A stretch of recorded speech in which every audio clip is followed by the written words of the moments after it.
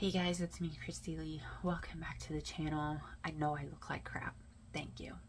I have been sick since Wednesday. It just came on out of nowhere.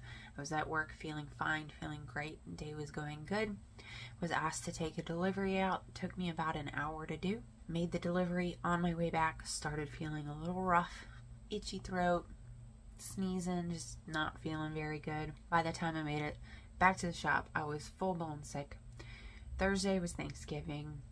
I was absolutely miserable. Went to the gathering anyway and spent the entire time on the couch. After I tried to eat some of that Thanksgiving meal, I started evacuating my stomach contents on the way home.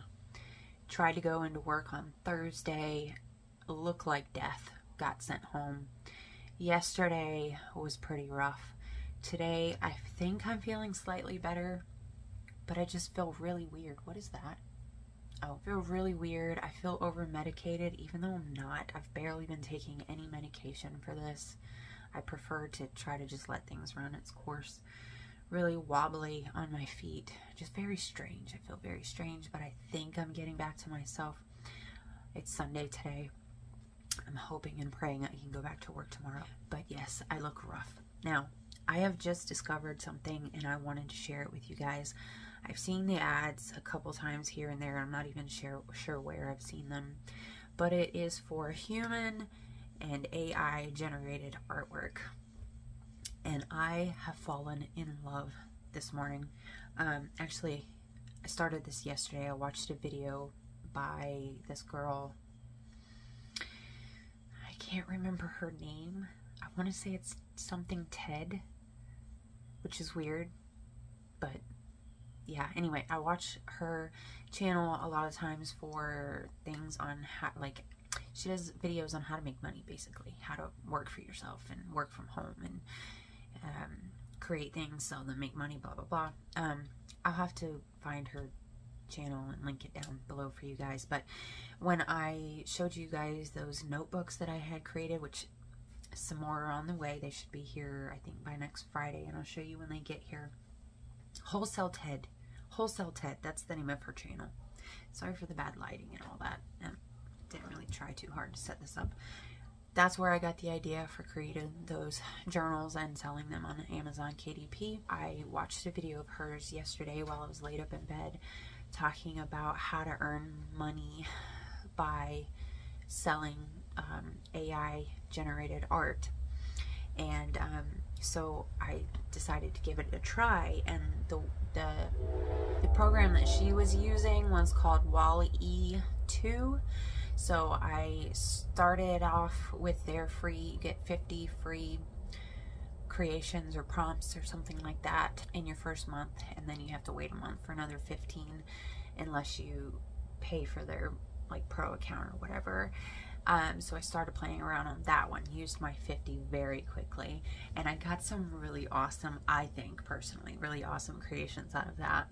And then I liked it so much that I went searching first thing this morning for another app that I could use while I'm waiting for my free prompts to um, to renew on WALL-E. So I started using the Starry AI and you only get a few prompts on there, but you can earn more prompts.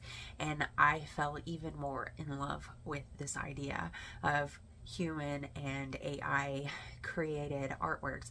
I have made some really awesome pieces of art. Sorry that I'm looking like I'm starting to cry. I don't know why or where that's coming from. I'm not crying, I promise. but um, I did, I wanted to share with you guys some of the creations that I've been making.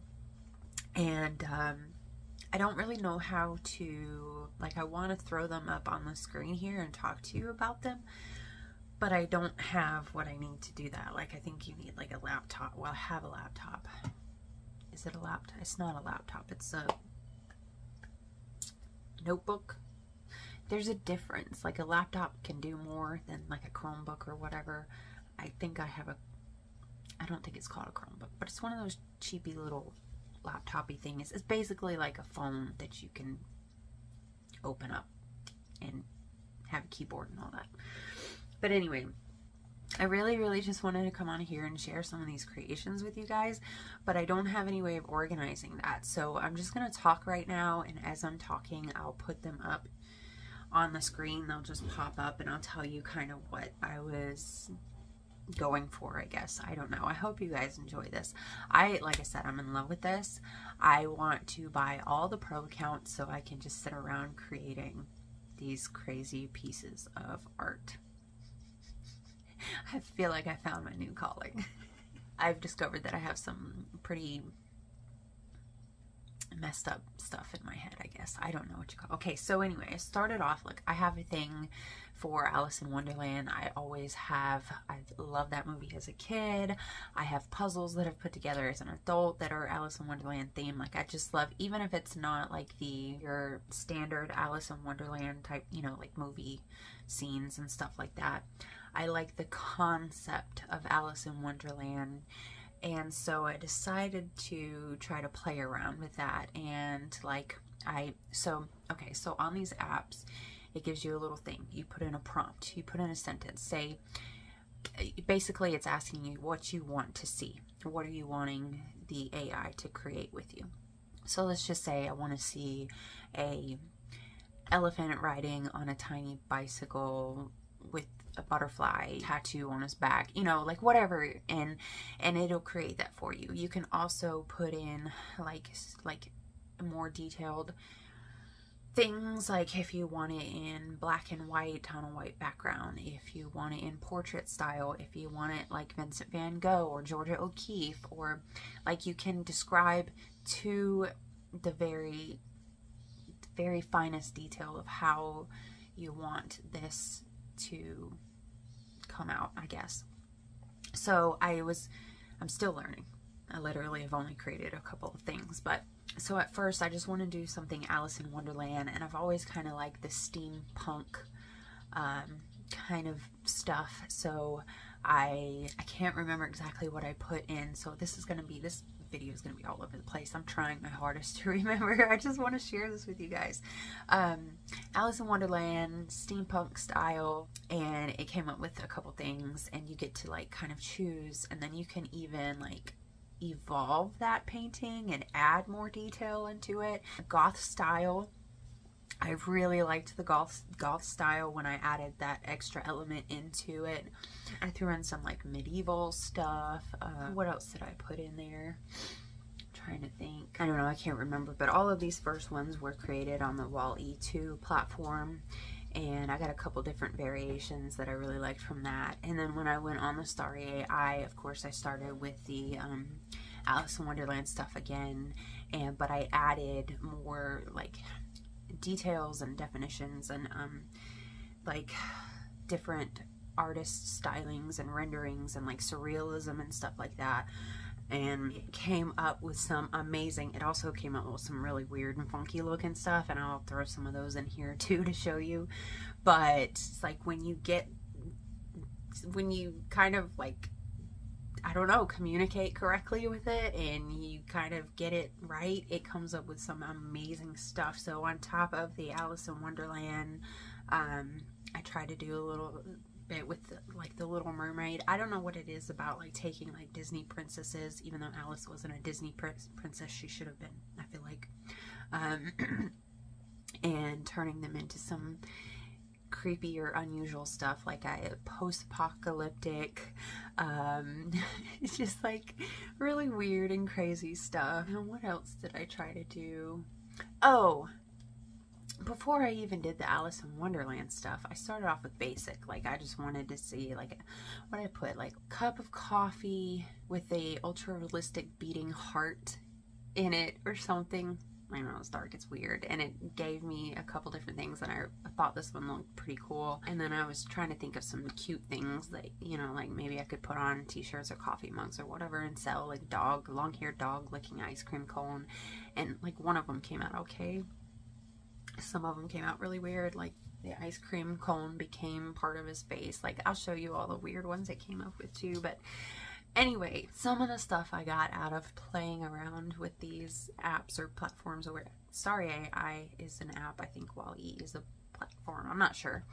Like I said, brand new. I literally just started doing this stuff. Um, but some of the stuff is amazing. And if you look through like the gallery, you can explore the gallery of other people using this stuff. And the art that's coming out of this is just insane. It's beautiful. It's gorgeous. It's like emotional. It's it's it, very like thought provoking, and I think it is awesome.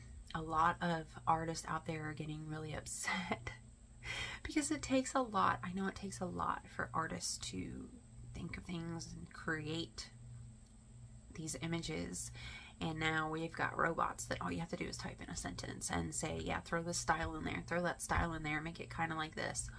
And it creates this stuff in seconds.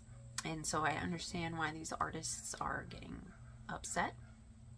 It's kind of like when photographers used to have to work really hard and learn how to use these you know cameras and develop their film and to get the portraits just right and all this stuff and it took a lot of time and energy and money um, to learn to be a really good photographer. And then smartphones came along and anybody can be a photographer now. So i totally understand where the artists are coming from.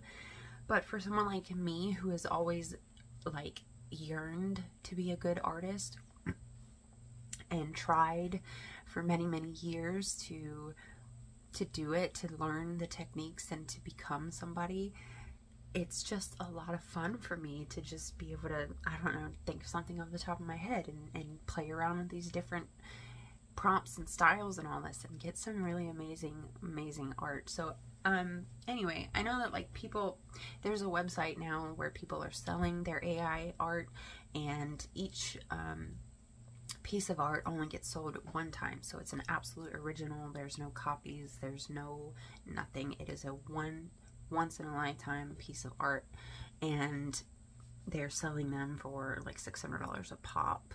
If I could get on that, man, I would be, I'd be doing good. But, um, the downside of using these things that I'm using is that the resolution is quite small. So you would not be able to take what you're creating there and blow it up on a big, you know, 30 by 40 canvas and sell it like that because the resolution would be terrible. So at least with the free versions, um, I think you have to pay for the pro and maybe use some other apps or things outside of, you know, of what you're using to create them to make the resolution good enough that you could blow them up, put them on things, and sell them as printed pieces. And I I don't think I'm smart enough to figure all that stuff out, so I'm really just having fun with it. I mean, I would love to figure out. I would love to be able to sell some of these. I think they're absolutely gorgeous. Some of them, some of them are really weird and funky, and I think it's cool. Anyway, I'm not going to drag this video on much longer. I'm going to get my butt back in bed. I just really wanted to share some of these with you guys. I hope that you find it as entertaining as I did. And I hope I see you again soon in another video when I'm not looking and feeling like death. Alright you guys, thank you so much for watching and I'll see you in the next one. Bye.